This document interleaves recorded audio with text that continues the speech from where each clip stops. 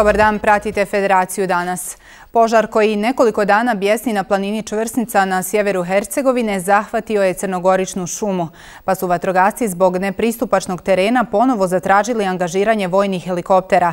Saopštila je civilna zaštita Hercegovačko-Neretvanskog kantona. Požar se približava platovu Čvrsnice na lokalitetu Sjemenjaci kod Risovca.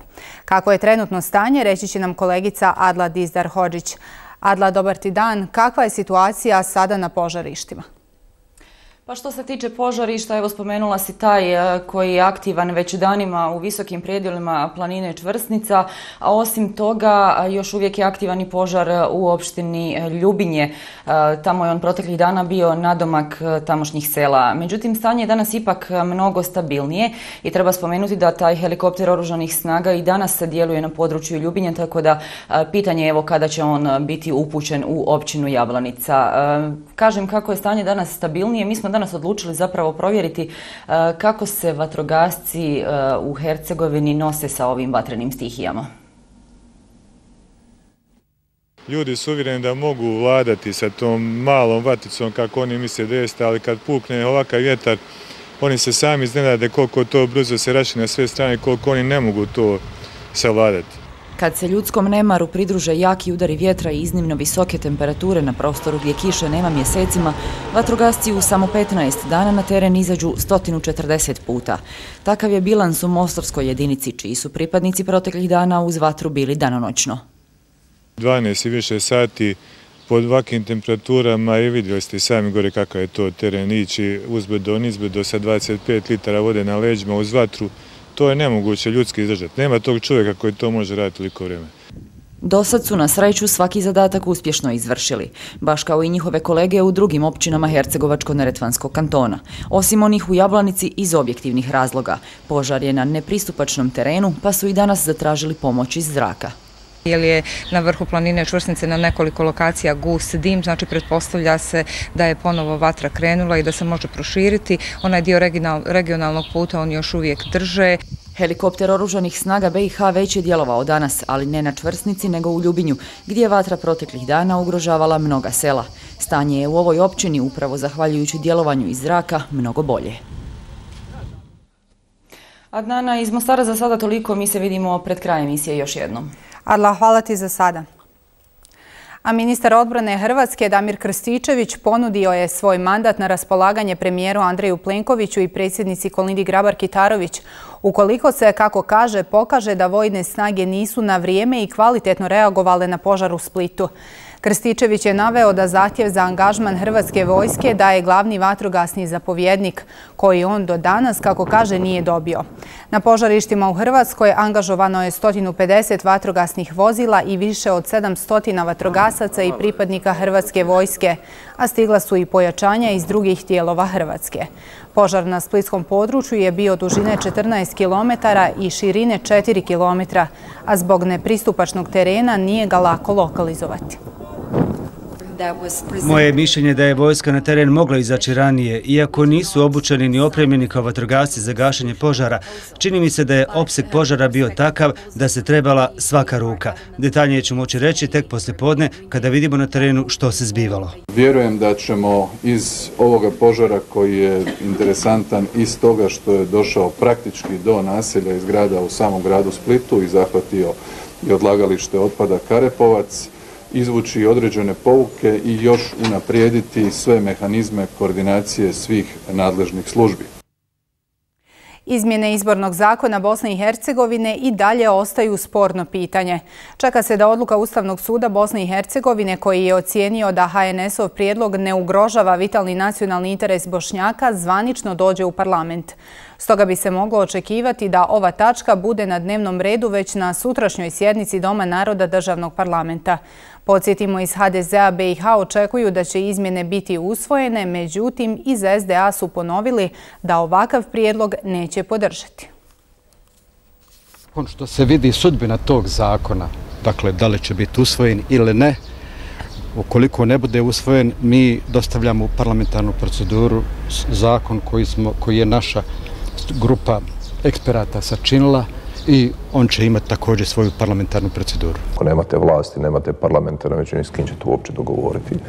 Ja sam siguran da nakon promjena koje su uslijedile u izbornom zakonodavstvu, činom da je Ustavni sud izvukao iz izbornog zakona ili one osporene članke koji su bili sporni, u tim člancima je definirana uloga izbornog centralnog izbornog povjerenstva. Ako nema tog članka, nema ni definicije uloge centralnog izbornog povjerenstva, tu nastaje jedan ogroman kaos i problem.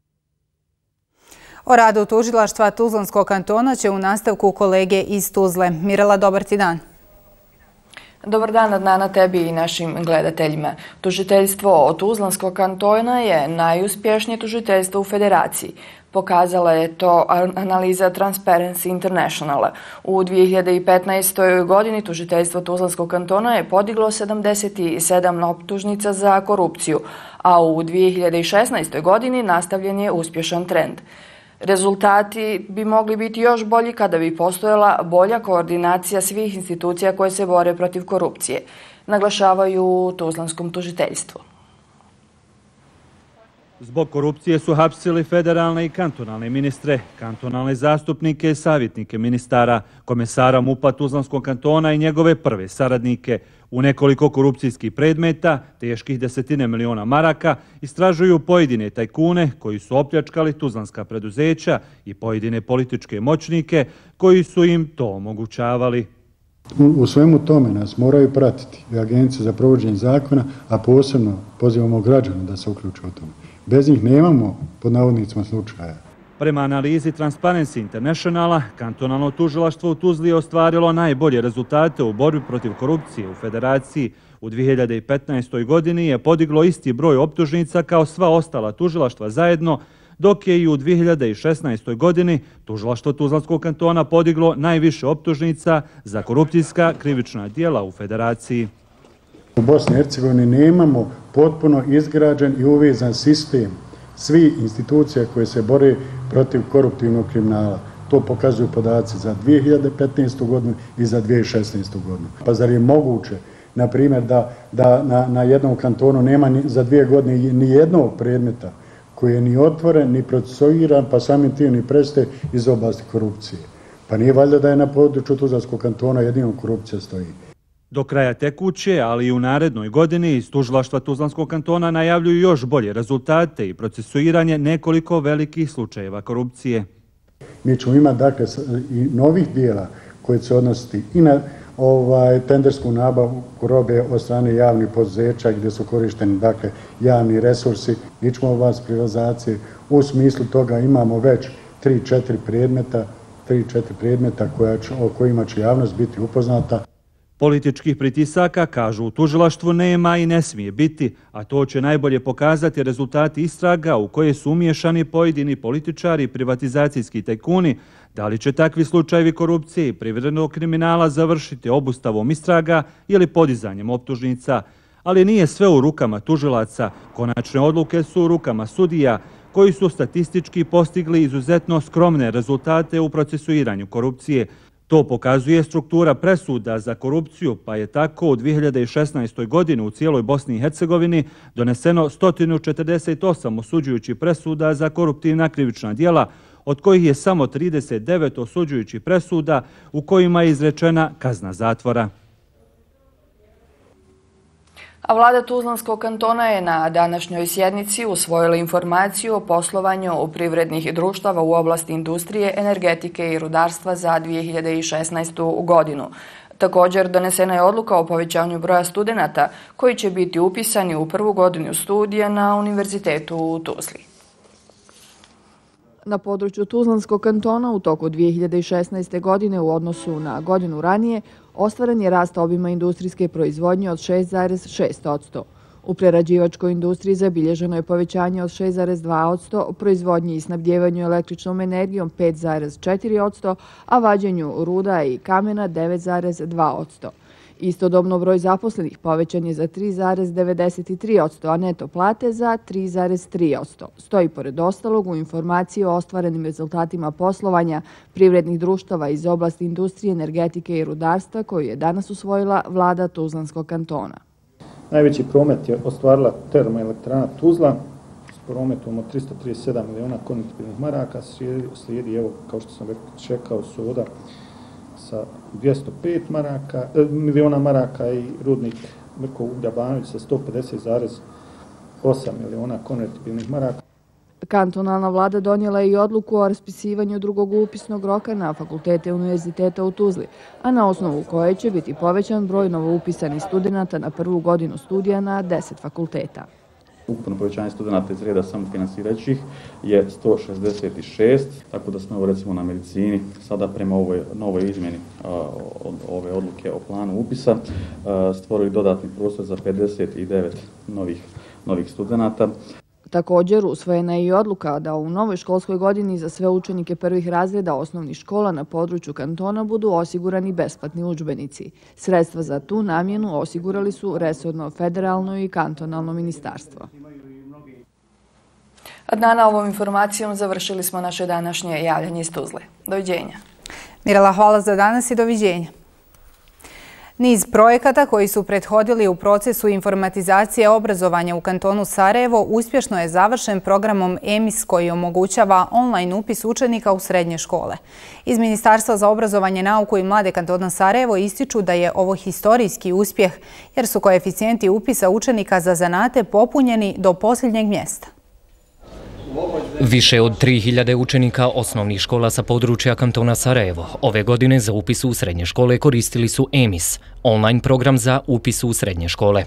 Prednosti ovog programa koji se po prvi put koristi na području kantona Sarajevo, ali i Bosne i Hercegovine, između ostalog je transparentni upis, kao i stvaranje baze podataka relevantnih za analizu stanja obrazovnog sistema u Sarajevskom kantonu. Projekat koji je najtransparentniji način upisa u srednje škole u kantonu Sarajevo i želja nam je da sljedeće godine on bude unaprijeđen, usavršen, da bi pokušali da zaživi na prostoru cijele Bosne i Hercegovine. Osim transparentnijeg upisa, program omogućava nadležnim institucijama ali i učenicima da na osnovu rezultata osnovnog obrazovanja i eksterne mature pohađaju školu za koju ispunjavaju uvjete, kao i da imaju uvid u popunjenost kapaciteta obrazovnih institucija za koje apliciraju. Prednost ovog sistema je zaista što mi sad imamo sve te podatke u sistemu, gdje su se djeca upisalo, koje su se škole upisale, iz kojih su škola došli i sad u ovom periodu se može vršiti analiza tih podataka i može se koristiti za neke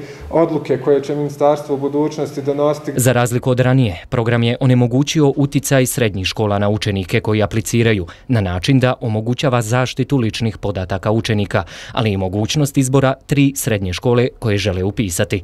U planu je da program od naredne godine bude dostupan u svih deset kantona, kao i na području Republike Srpske.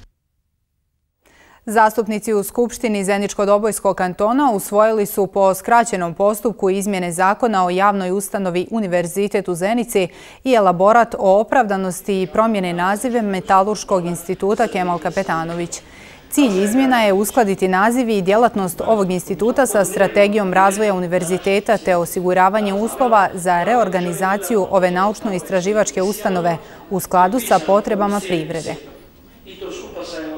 Naš ovaj institut, e, dosadašnji Kemal Kapetanović, je sad dobio novi naziv iz prostog razloga što smo željeli da institut Kemal Kapetanović u Zenici sad dobije jednu širinu, jedan, jednu mogućnost za otvaranje novih instituta, rekao sam već i za hranu, i za poljoprivredu, ali za ove institute iz oblasti društvenih humanističkih nauka. Slijede druge aktivnosti, slijedom o, ono, onih zaključaka koji su na okruglom stolu donešenija vezano za potrebe organizacije instituta i odluke upravnog odbora univerziteta da je potrebno da se a, a, institut snažnije integrira unutar univerziteta, tako da katedre i sektori istraživački u institutu postanu postanu jedinstvena cijelina, a da naš univerzitet konačno od onoga nastavničkog postane i poduzetnički univerzitet. Mladi poduzetnici iz građaničke kompanije Tring ovih su dana na tržište plasirali prvi poslije ratni računar proizveden u našoj zemlji. Već je naišao na široku primjenu, a do kraja godine prve količine mogli bi biti spremne i za izvoz. Ovo je Krajt, prvi posljeratni bosansko-hercegovački univerzalni računar. Plod je domaće pameti i odvažan tehnološki iskorak naše zemlje u svijet IT tehnologija. Na velškom Krajt znači jezgro ili temelj. Sve je počelo prije 15 godina sa tri uposlena. U prethodnom periodu bilo je ulaganja čak i do 3 miliona KM onaj, u, kako u proizvodni pogon, tako i u ostalu opremu koja je vezana, obzirom da mi imamo ovdje, što bi rekli, od ideje do gotovog proizvoda. Ova kompanija je vodeći bosansko-hercegovački proizvođač fiskalnih kasa. Veliki izazov za 35 uposlenih, od čega je polovina visoko obrazovanih, bila je ideja da se vlastitim snagama proizvede kompletan računar i ugradi u gotove proizvode umjesto onoga iz uvoza. Taj računar je dimenzija 65 puta 30 mm na kojim je smješteno e, oko 200 komponenti. Sam računar od postanka svoje ideje je bio jedan veliki zahtjev, kako za naš razvoj, tako i posle za, za proizvodnju. Kompletan računar je proizveden ovdje u Gračanici, znači plod naše pameti, to je, to je računar, standardan računar, znači sa jednom gigom rama, sa dual core procesorom, sa memorijom od 4 GB koja se može povećati, sa autorom za SD karticu, računar koji se može iskoristiti, koji ima veoma, veoma široku primjenu. Računar je pažljivo testiran. Počela je serijska ugradnja u domaće fiskalne kase, ali i plazma televizijske prijemnike, čime se oni pretvaraju u pametne, takozvane smart televizore. Ovi uspjesi otvaraju i nove mogućnosti. U strategiji naše firme u 2017. godine imamo u planu i izvoz. E, kako u zemlje regiona, tako i šire. Imamo nekih upita, međutim krenut ćemo prvenstveno sa zemljama regiona koje su nam bliže. Uspješne kompanije poput ove iz Gračanice su čini se najbolji način da se mladi obrazovani ljudi zadrže u Bosni i Hercegovini. Želim da poručim svojoj omladini koja je spremna da radi, koja je spremna da uči, da, da bude naravno smjela i odvažno da se prihvati ovaj posla, da, da ne misli da će na zapadu proći nešto puno bolje. U ovoj firmi su ističu novim razvojnim projektima spremni za utakmicu na veoma zahtjevnom tržištu informacijonih tehnologija. Pet grupa najboljih mladih inovatora, čije su ideje izabrane na turniru inovacija, potpisali su ugovore sa Fondacijom Mozaiki i opštinom Lopare za realizaciju kandidovanih projekata u svojim lokalnim zajednicama. Potpisivanje ugovora sa mladim inovatorima finalizacija je projekta turnira mladih inovatora održanog u Loparama, na kome je učestvovalo 25 grupa iz 7 opština i gradova u Bosni i Hercegovini. U Loparama nema logopeda. E, djeca iz naše opštine idu ili u Gljevik ili ovaj, u Bijeljinu. Pa smo mi htjeli da pokušamo bar kroz projekat da ta djeca imaju mogućnost da dođu u našu opštinu na besplatne tretmane. Projekt je u ukupnoj vrijednosti od 20.000 maraka. Biće realizovani u naredna dva i po mjeseca. I ove godine će biti pet projekata koje su osmislili mladi i obezbijedili sredstva kroz e, omladinsku banku, to jest znači, sredstva iz zajednice koje su oni sami obezbijedili, 50% sredstava i sredstva od strane opštine Lopare i fondacije Mozaik. Iz fonda, znači Omladinske banke koje obezbeđuju opštine Lopare i fondacija Mozaik se obezbeđuje ukupno 11.126 maraka. Mladi inovatori kroz ovaj će program imati i priliku da se takmiče i za investiciju u vrijednosti od 18.000 maraka za preduzetničke ideje. Federalni ministar raseljenih osoba i izbjeglica Edin Ramić sa predstavnicima devet opština i tri kantona potpisao je sporazum o saradnji na provođenju državnog projekta Zatvaranje kolektivnih centara i alternativnih smještaja pruženjem javnih stambenih rješenja CEP2. Ovim projektom planira se trajno zbrinjavanje raseljenih i osoba u stanju socijalne potrebe, a koje nemaju rješeno stambeno pitanje. 22 godine nakon rata Bosna i Hercegovina još ima 93 aktivna kolektivna centra u kojima živi oko 5000 ljudi. Projektom zatvaranje kolektivnih centara i alternativnih smještaja pružanjem javnih stambenih rješenja CEP2 planirano je stambeno zbrinjavanje svih korisnika do 2020. godine.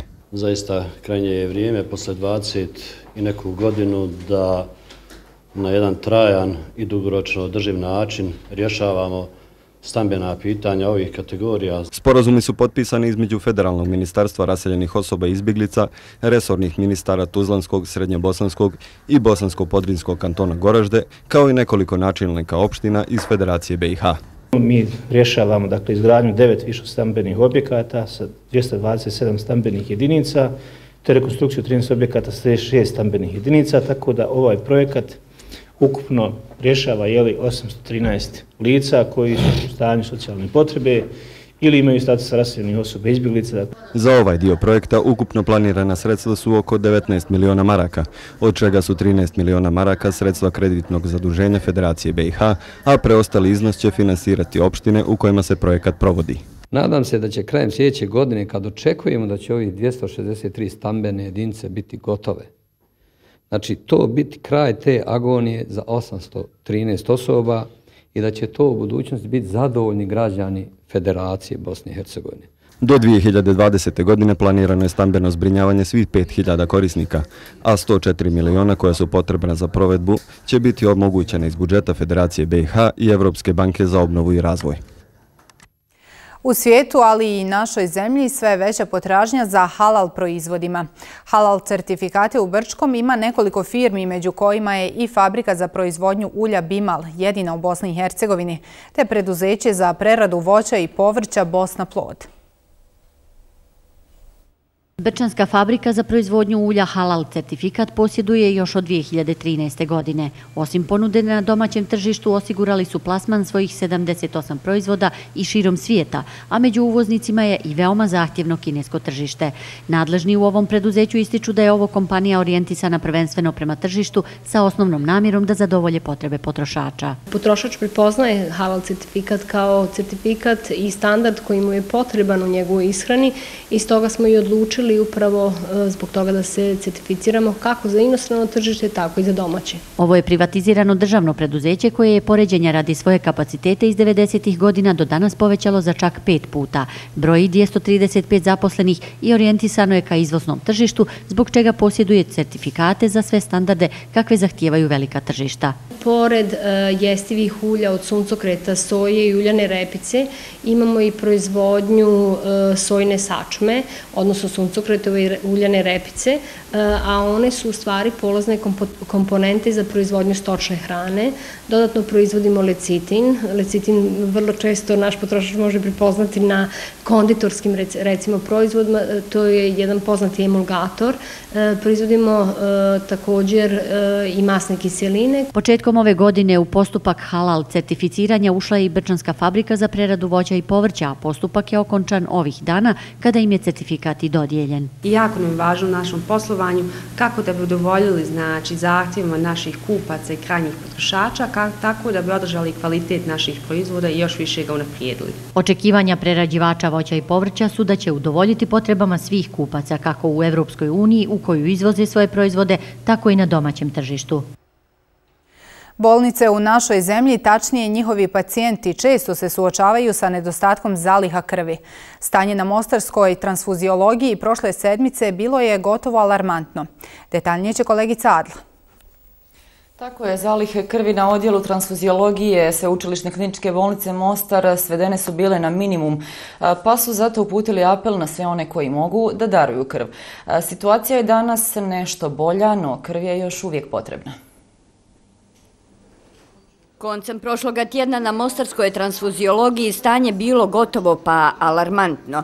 Premda se na sreću nije dogodilo da pacijent ostane bez potrebne doze krvi, nedostajalo je svih krvnih grupa osim AB. Zavod za transfuziologiju jutro je dočekao sa svega 180 doza. No čuvši za njihov apel, ljudi su se nesebično odazivali cijelo jutro kap mi ne znači ništa, nekome može značiti život. Konstantno u medijima čitamo da Mostarskoj bolnici fali i krvi. Pozvao bi sve koji su mogućnosti da, da, da daruju krvi, jer ja svaki put kad dan krv osjećam se ispunjeno, osjećam se dobro, pozitivno i evo, možda spašavam nečiji život samim činom darivanja krvi. I jeste tako. Bolesti nesreće ne biraju kroz cijelu godinu, a posebice u ljetnom razdoblju kada su primjerice prometne nesreće češće, tim više jer je sezona godišnjih odmora i intenzitet prometa pojačan. Stoga su i potrebe za krvlju više.